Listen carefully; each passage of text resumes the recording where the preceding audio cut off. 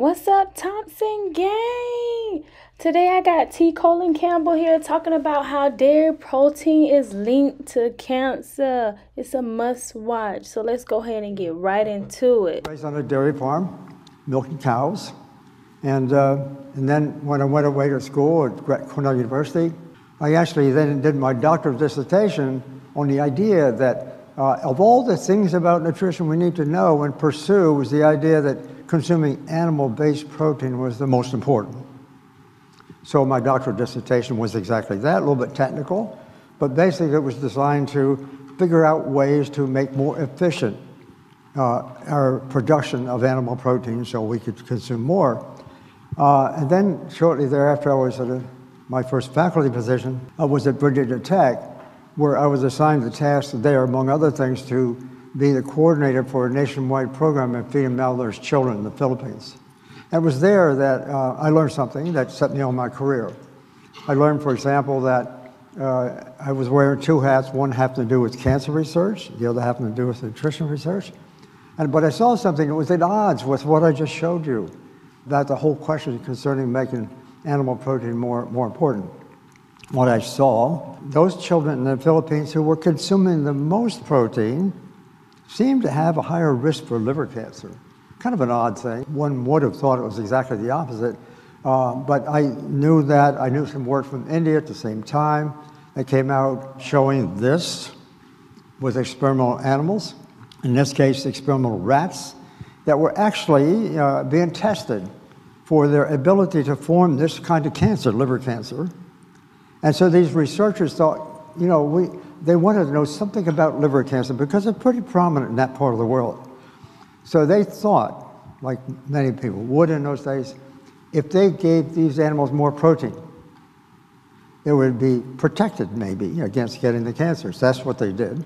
Just a quick summary. One group was fed 20% of total energy as protein, the others 5%. One's on a little on the high side, the other's on the low side, but more or less the range that we humans use. Uh, and this was, these were animals that had been exposed to a carcinogen to give rise to the cancer, right? And they very, very powerful carcinogen. It was the most, and still is today, most powerful carcinogen ever discovered. So they just put them on this diet, 20%, 5%. They said, thought, at least hypothesized, that the animals get more protein, they get protected. So that's the results they got. Not a big study, but they had that. The animals in the higher protein, they all got cancer. And The animals in the 5% did not. Really striking, as I say, I emphasize this is a small study. But nonetheless, because I was wearing two hats, going to the Philippines to try to introduce the consumption of more protein for these children, yet on the other hand saying this. I mean, obviously something's wrong here. So that's really what got me started to get involved in doing the basic research on this question. Is this true? I mean, I, I tend not to believe it from my own background. So we got money from the National Institutes of Health, the National Cancer Institute in particular, and that one particular grant then lasted for the next 27 years. And I had a lot of students, fellow researchers, and who got involved with me and so forth. Uh, and I just wanted to know, is there any possibility, this is true, that higher protein actually might increase cancer? So we use this model to understand that. I want to understand, too, something about cancer, because in those days we didn't seem, from my perspective, didn't know a lot. We sort of knew that cancer started with genes, maybe. Uh, maybe the genes had been mutated and so forth, but that was about it. There wasn't much to do with nutrition. It all had to do with environmental carcinogens. Um, so there again, what, we, what I thought I saw in the children, what was produced here, both cases, more animal protein, more cancer. What I'm showing you here is a little experiment. We just did what the Indian workers had done. Feed, you know, all the animals have been exposed to a carcinogen, but then we fed one group 20% and the other 5%, and looked to see what happened in the early part of that cancer, first 12 weeks, for example. So when we've had 20%, the cancer are growing really well, shooting right up there. Fed 5%, nothing. And this now, both groups had the same exposure to the carcinogen. And keep in mind, carcinogens are those chemicals in our environment that we get so concerned about, environmental chemicals, if you will. A lot of people think we get cancer because of those. It's not really true. But in any case, here we got this really powerful carcinogen, just treating them with protein and saw the spectacular results. Among other things, I wanted to do, see what would happen if we changed the diet back and forth. Feed them 20%, let's say for the first three weeks. Those early cancers are growing quite well. Feed them 5%, cancer went off. On, off. That was really exciting because there was nothing had been shown in that, or even given a hint that cancer grew in response to nutrition. It was all thought, and too many people today still think that our cancer comes from chemicals. We'll come back to that a little later on. So we could turn cancer on and off. I couldn't imagine anything, quite frankly, more exciting than that, being able to turn cancer on and off with a very powerful carcinogen just by manipulating protein intake. That was uh, I'll get ahead of myself a little bit. I will tell you that's all animal protein. It's a protein of cow's milk, as many of you probably know. Plant protein did not do that, even when it's fed at 20%. So there's all something very special about protein of animal origin. Specifically, in this case, it had to do with the, the protein of cow's milk. That's why I like to show that story. I grew up on a dairy farm milking cows. And I I just did like everybody else did. We ate a lot of uh, dairy and meat and so forth. So it's kind of hard to reconcile that with what my own background was and so forth. Here's another little slant on that story, and that is that uh, if the animals are fed, I mean, if they're exposed to carcinogens, the cancer doesn't grow if they're feeding 5% protein. And so I thought, well, maybe after, you know, 10, 12 weeks or so, by that time, that carcinogen would have already disappeared from the body. It wasn't around. What would happen if we just gave some protein then? You can see there. Which led to a really pretty exciting idea. And that was, and I can, I'll jump way ahead without all the data and simply tell you that we get cancer, according to this hypothesis here. We tend to get cancer because we've all got some genes that's been changed, been mutated, one way or another with chemicals here and every place. We've got some genes to give rise to cancer, of all kinds, by the way. Some of us have more of that than others, but that's, that's kind of the, beside the point. Those genes will lie dormant, as seeds do in a, in, in a, in a plot of ground.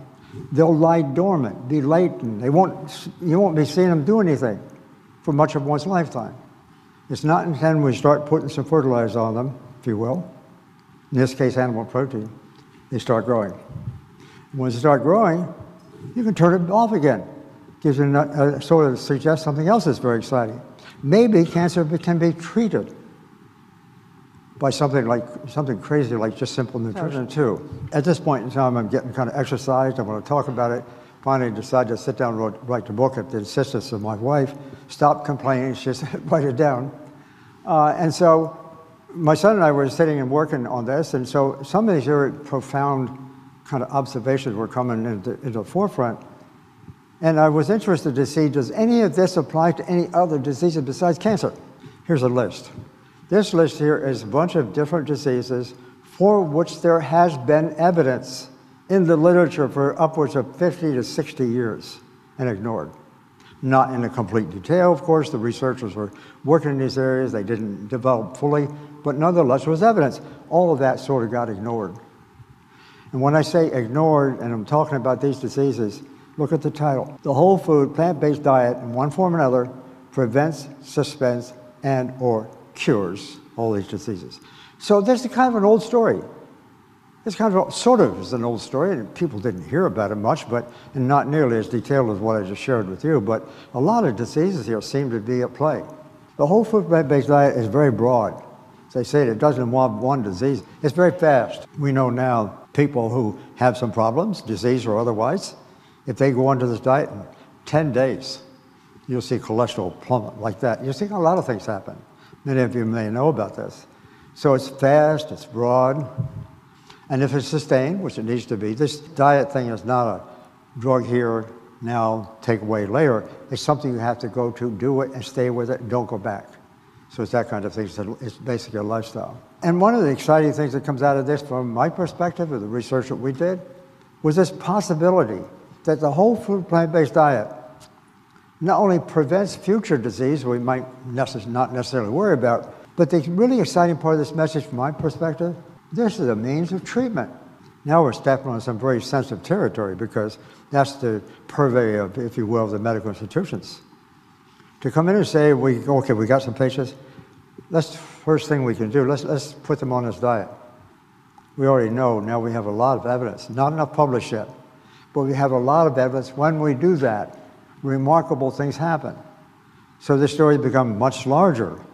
This is not some fly-by-night idea of you do this and you won't get that in the future, stuff like this. This is uh, the total package. Dr. Esselstyn, my very good friend, he and I became friends 30 years ago, actually, when he learned about mine, I learned about what he was doing. So I want to just put a comment here uh, about that.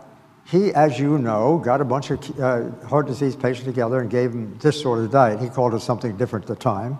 He was a physician and he was doing it that way, and he got some remarkable results. Dr. Dean Ornish had started his work about that time, a little before actually. Um, and uh, so between Dr. Ornish, who you heard here this morning, Dr. Esselstyn, and actually another gentleman back in the 1950s who was ignored, to be considered to be a crank, uh, Morrison, Lester Morrison, they showed that heart disease in this case can be reversed. He had this study that he sort of did. He after he did the first study you know about, then he came along and retired, same time I did. He was at Cleveland Clinic, I'm at Cornell.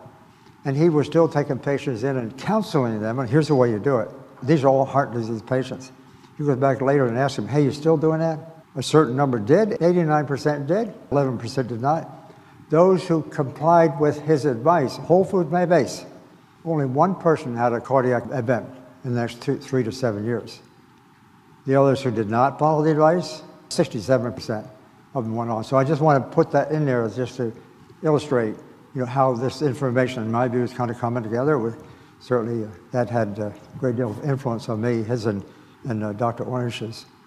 Here's something else about this field that has been troublesome, and I've lived it, I've seen it, I've been involved to a great extent at times, and that is when this information started to be first told in 1982, the National Academy of Science report, there was a lot of interest in the idea that foods that gave rise to more beta carotene in our blood were, that was a good thing because if you have more beta carotene in the blood, for smokers, get lung cancer, they got more beta carotene blood comes from you know carrots and greens and stuff like that.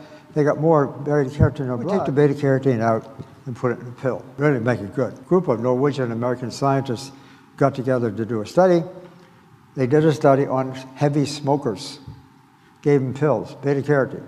Another group, no pills. Then they saw what happened after five years or so.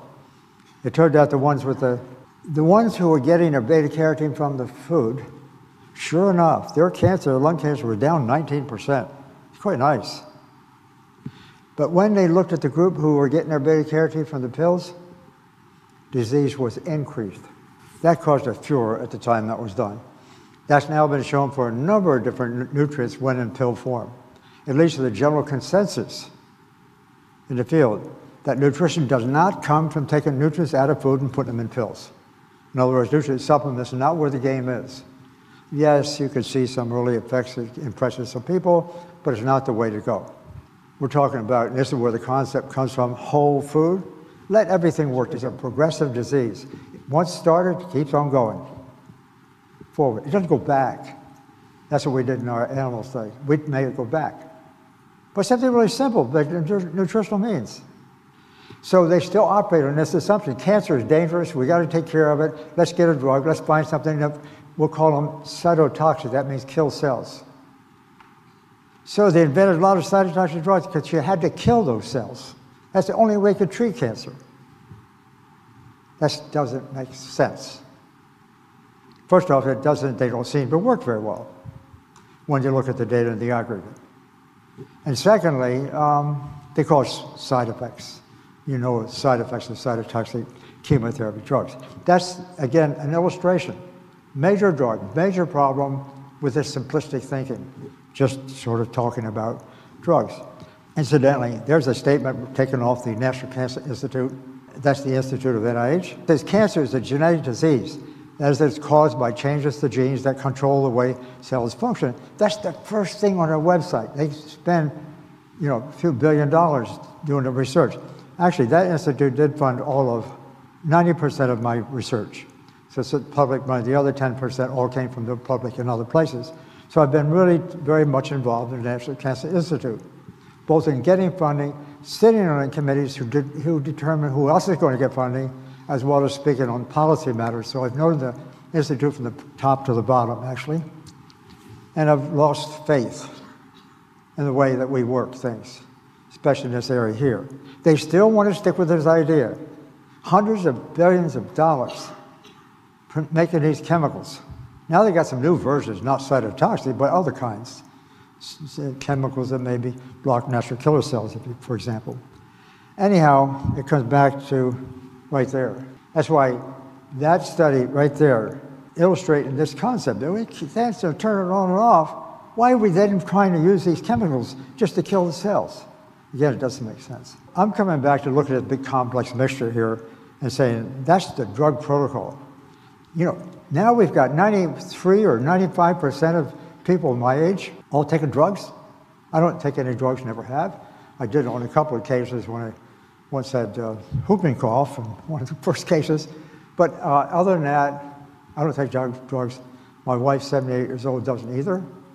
Uh, and we don't need to go down the drug route, but that has actually become the norm in this country. That's the medical system. Going to get you a new drug, you know, collect money, going to do research, you're going to do that, and to tell stories after the fact. It does, first off, it doesn't work in theory. The drug protocol is going in one thing at a time and in complexity. The nutrition protocol, where you, if you get the right food, you get all this stuff working together, it begins to come into that system and works together as, a, as like a symphony. I like the word symphony. Single notes, even a single instruments sometimes, they don't make an orchestra-like sound. Same thing here. I want to think about it in a more holistic way. That's the word I rather like for that purpose. So I'm going to kind of conclude here. Holistic nutrition, I'm defining it that way. Multiple nutrients, infinite nutrients, let's say. Multiple mechanisms, multiple disease reversal, multiple, all of this kind of working together, all kind of nicely woven together. Somebody's controlling all that. And we don't have anything to do with it except screw it up. We're just not, we're not into that. We haven't figured out how to do that. That comes down to the whole food plant-based diet. Because it turns out that the best, the best recipe, literally, is that recipe that has a whole collection of menus made of whole plant-based foods. And you get these remarkable effects across the board. And I, am calling it a fact of nature. It's a fact of nature, and that's what's got me so excited about it. And when you start thinking about it that way, and then I, this book I'm working on right now went back into the history of this field, back to the 1700s. And I found some really interesting uh, things going on at that time to begin to explain why we got into the wrong track. We, we had an idea then back in the 1800s. And it was closer to what I'm talking about here. We rejected it. Instead, we chose the drug route. Now we have what we have. It's not exactly a pretty story. So I say this holistic nutrition is a highly interactive, integrated, wholist system with a W on it minus the cult of animal protein. I, don't, I haven't had a got chance to get into you to tell you the story about animal protein. The argument for the vegetarian vegan diets, for example, has largely been an ethical one, as all of you may know. It's not a scientific one. It's that it really hasn't done a very good job that way. Uh, and uh, on the one hand, it's, a good idea, yes. I, I support that, that, that sort of thing. But in the process, that was a reaction against the consumption of animals for good reasons. I didn't get there that way. I get here through what I didn't get a chance to describe to you. An argument why we should never have ever eaten.